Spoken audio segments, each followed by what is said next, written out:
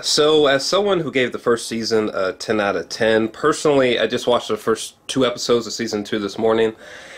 And season 2 so far, it's. Eh, it's. It's okay. It's okay.